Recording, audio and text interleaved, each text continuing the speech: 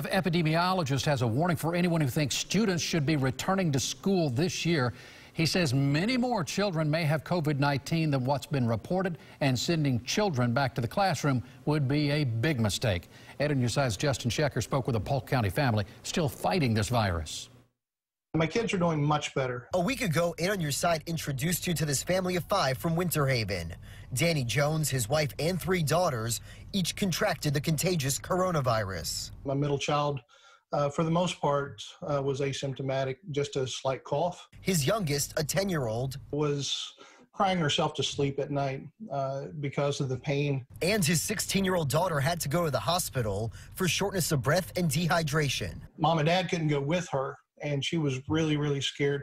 So there's a lot of challenges um, that you know, with with kids getting the virus. Jason Salemi is an epidemiologist at USF. There are 74 million children in the United States, and so even a low risk can result in big numbers uh, of children that are affected, especially when we don't know what proportion of the population will get the virus. Salemi and researchers from USF say if up to 25% of the U.S. population becomes infected with coronavirus this year, nearly 50,000 children could end up hospitalized with severe illness. I'm cautiously optimistic that we won't get anywhere near those upper end estimates that we were projecting because people are using thorough and frequent hand washing, they're practicing social distancing. Salemi tells 8 on your side those mitigation factors must continue. He's glad phase one of the president's Reopening America plan does not include schools. I think that's a no brainer. Having watched his daughters fight the virus, Jones says